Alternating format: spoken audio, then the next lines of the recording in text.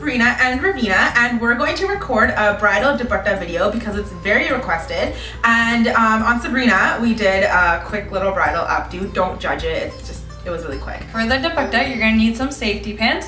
You want strong, heavy-duty safety pins.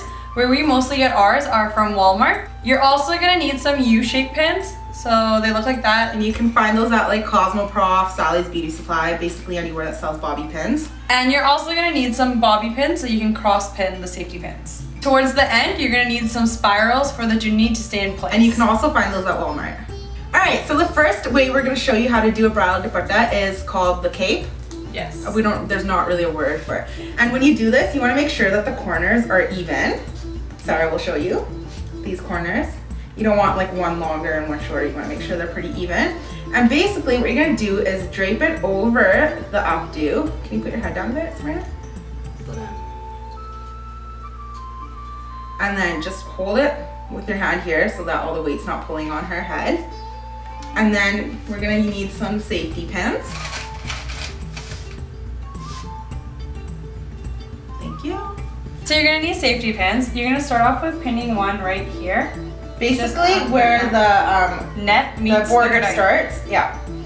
you're gonna use that as support and then again because you don't want all the weight to go onto the net so it rips you want to do it into the border as well so you're gonna put one right in the middle like that and this is gonna be your base for the cross So, pinning yes, you're gonna take bobby pins and you're gonna cross pin them into the safety pin and also into the updo. So we've done the center and now we're also gonna place safety pins on the side as well, on that side and the side so that this sits nicely along her head.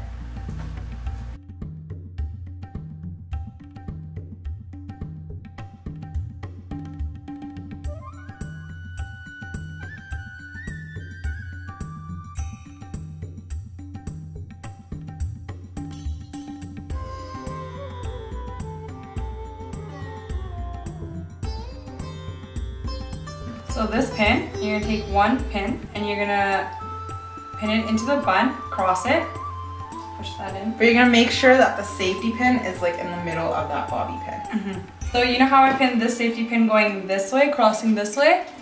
Now you're gonna cross it the other way. Basically you're cross pinning them and cross pinning means going like this, making a little X with the pins. You're gonna be doing that around the whole crown. Yeah, basically wherever you place these safety pins. Uh, so flip this one up.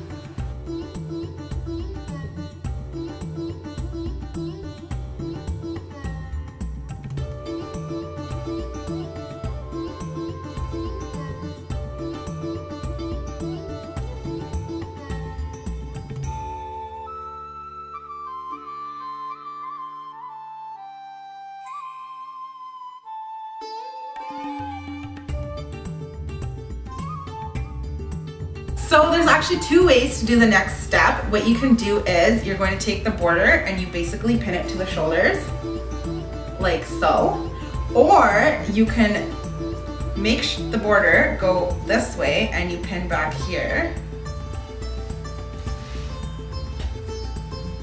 Like so. But it all depends on the bride's preference. So you're going to pick which way would you like your dupatta to go today? Um, this way. This way? Yeah. Okay, sounds good. So safety pins are needed. So you're going to take your safety pin and you're basically going to pin it to the blouse. Um, she's not wearing a bridal blouse today, she's just wearing a sweatshirt. So we're gonna pin it to her sweatshirt. And you wanna make sure you're going from the inside because you don't want the pin to be shown. Next time, just straight right here. Straight. This is blow just straight. Okay, so we've done one side and now we're gonna do the other side.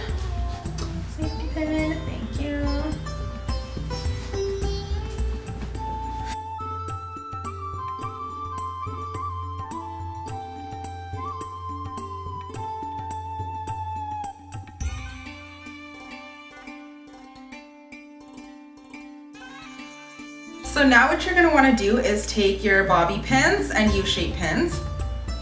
And you're basically going to take these pins and just pin them all into this whole bridal updo area. And you just poke it in. It goes straight through the net. And then you take another one. And you're gonna basically X them just like you did when we put them up here. And you're gonna do that all around because you really wanna make sure this is secure.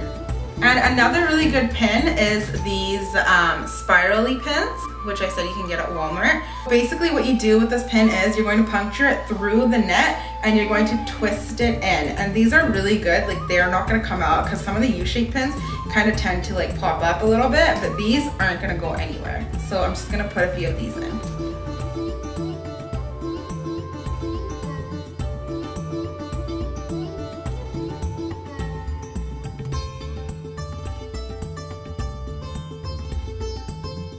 So the last step for the chunni is basically you're gonna pin some pins into the back of the blouse, back here, because you don't want the chunni to keep pulling on her head and pulling her head back. You, you want the weight to be lifted so that her head can stay like this. Lift it up a bit right here, and where it's lifted, you're gonna pin to the blouse. So let's do one side. And you would actually go from underneath, but for the purpose of this video, I'm just gonna pin it from the outside.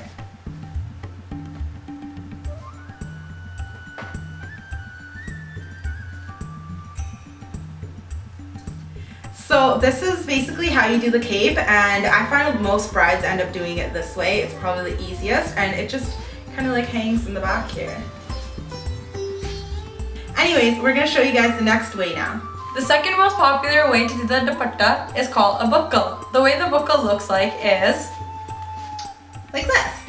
Where the chunni flares around. Makes kind of like a V shape. Yeah. So we're gonna show you how to do the buckle. As you can tell, the first couple of steps are the same, so we just kept the dupatta as is. What you're gonna need to do then is pin the dupatta back here. Like we did in the other step. Yeah.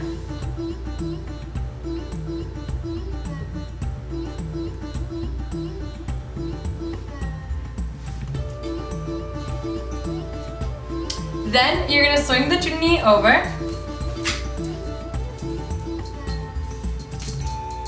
making a V in the front. Maybe a little bit higher.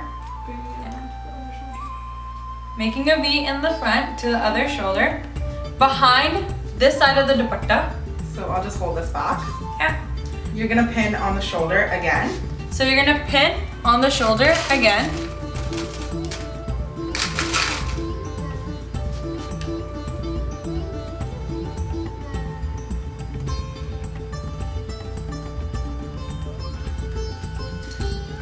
So what you're gonna do next is you're gonna take the other corner, so the buckle corner, you're gonna do the accordion fold, which means if it's like the flares of the accordion. Basically how you do the pleat for a sari. So we're gonna just do the accordion fold right here.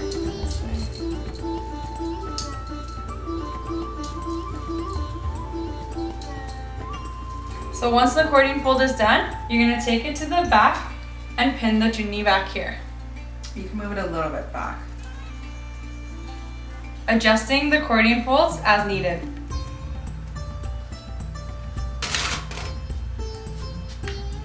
And of course you're gonna safety pin it again.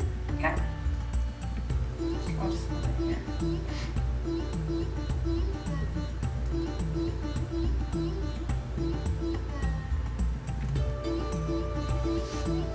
You're gonna safety pin the border onto the chunni as well, so it doesn't flare out or in.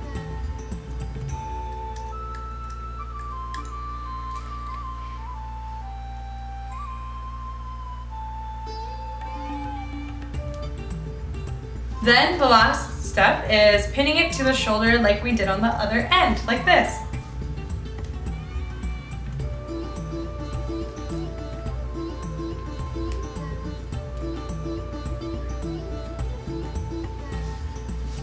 There you go. And there you guys have it, the buckle.